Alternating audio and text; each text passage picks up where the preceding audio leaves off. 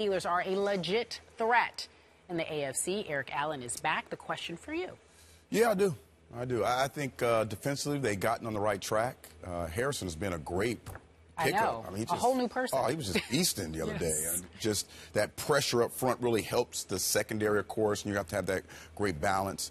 But it's all about the offense. And it's not the Steelers of old, what we're accustomed to seeing them running the football and paying, playing power football and running guys over.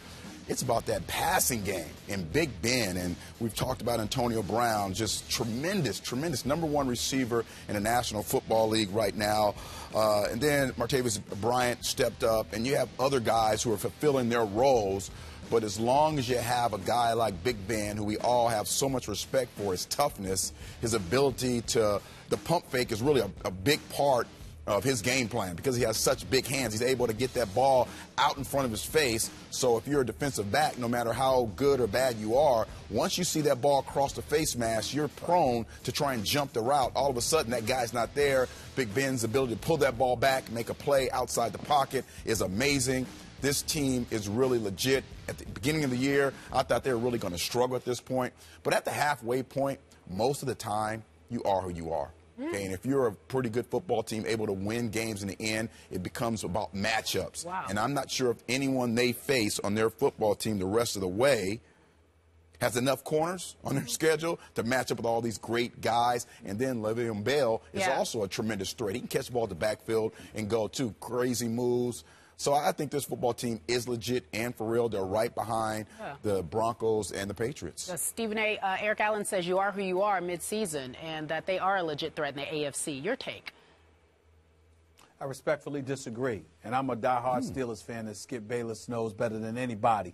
Uh, I, before I go uh, say what I'm going to say, I want to give major props to Le'Veon Bell. We all know what situation he got himself in uh, Skip Bayless at the beginning of this season with him and LeGarrette Blount traveling to a preseason game in Philadelphia. He came on my radio show on Sirius XM Mad Dog Sports Radio just last week, and he did an outstanding job. I wanted to give him props for that. Having said all of that, let me be very, very clear. I don't believe in this Steelers team because I don't believe in their defense. This offense is big time. It can throw punches with anybody. Big Ben, as far as I'm concerned, is cementing his status as a future Hall of Famer. Uh, he's going to do it again next week because I believe they have the Jets on their schedule, which might as well be a bye week at this stage and point. Uh, but when you look at him, when you look at Antonio Brown, when you look at this kid Wheaton, who's developed into a legitimate bona fide number two receiver, Martavis Bryant, I'm very, very impressed with him. The combination of LeGarrette Blount with Le'Veon Bell, giving you some semblance of a running game, an offensive line that's relatively relatively experienced that's been playing with each other the last several years and are doing, you know, are capable of doing a relatively good job of protecting Big Ben Roethlisberger. I definitely think they could put up some points. But Skip Bayless, Eric Allen, do you know the primary reason why I don't consider the Steelers a threat when I talk about their defense?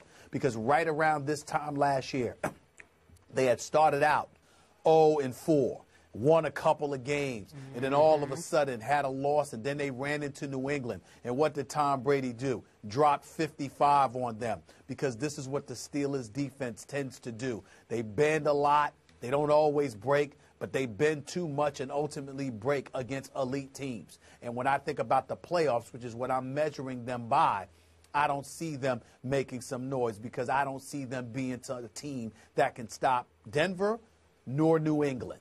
Could they give Cincinnati some trouble? Yes. They clearly could give Baltimore some trouble. Absolutely. San Diego, we find out that even though their defense is formidable, they're relatively fluky because of what am I supposed to think about you when you lose 37 to nothing to Miami? No matter how good Miami is, they ain't 37 points better than you. That's just embarrassing, okay?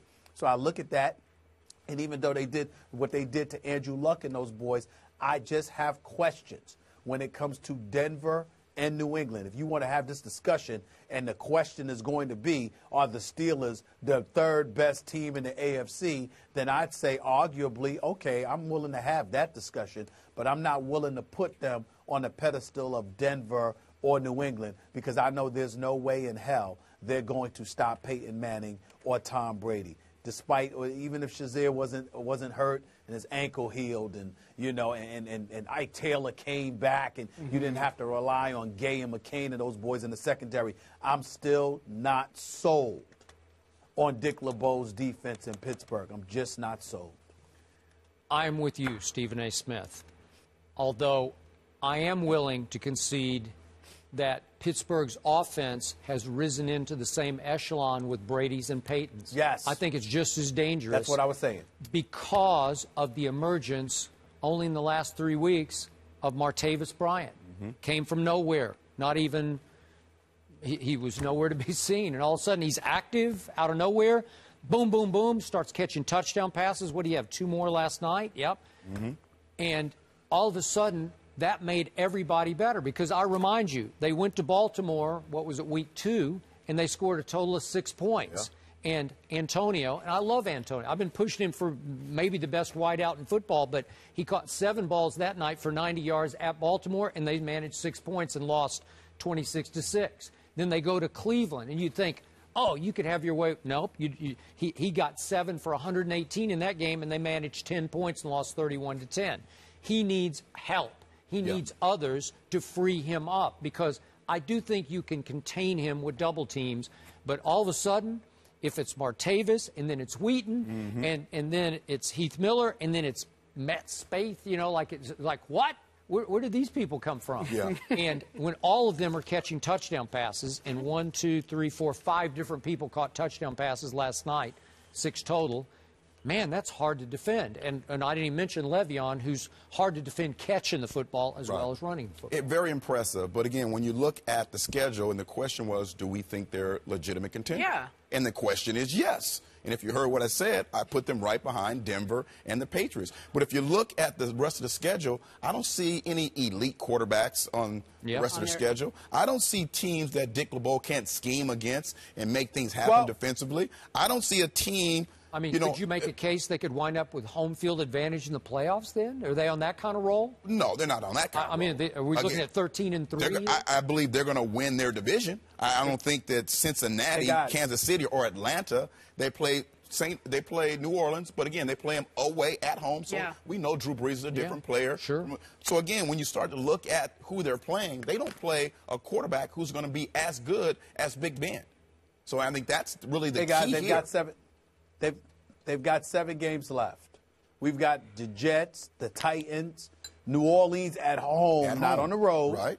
Uh, Cincinnati, at Cincinnati, at Atlanta, Kansas City, and the Bengals at home. As far as I'm concerned, these are seven games left. The Steelers should win five.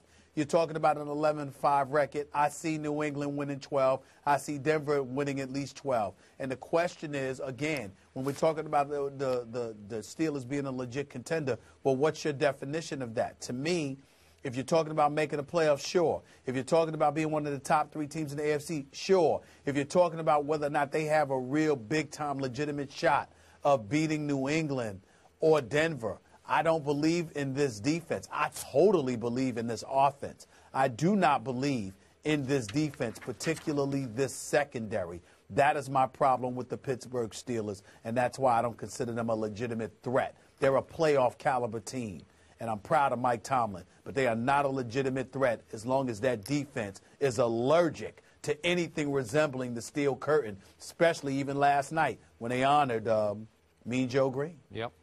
All right. Uh, Antonio Brown leads the NFL with receiving yards, 996. Beast. He is a beast. So far this season, you're number one. Yes. Uh, thank you for joining us. We appreciate it. Always. Coming up next, Ole.